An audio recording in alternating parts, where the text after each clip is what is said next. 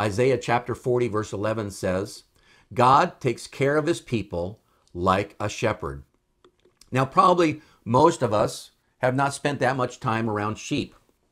Maybe you've never spent any time around sheep. So you might not understand that sheep are incredibly defenseless animals. You see, they're not fast animals. You know, they're not going to run at really fast speeds like a cheetah. And they don't have claws, you know, to fight back, you know, with, with a claw.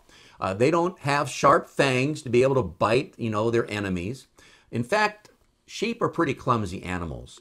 They tend to wander off, you know, different places, and sometimes they'll even fall off of cliffs. And the reason for that is because sheep don't have the hooves that a mountain goat has.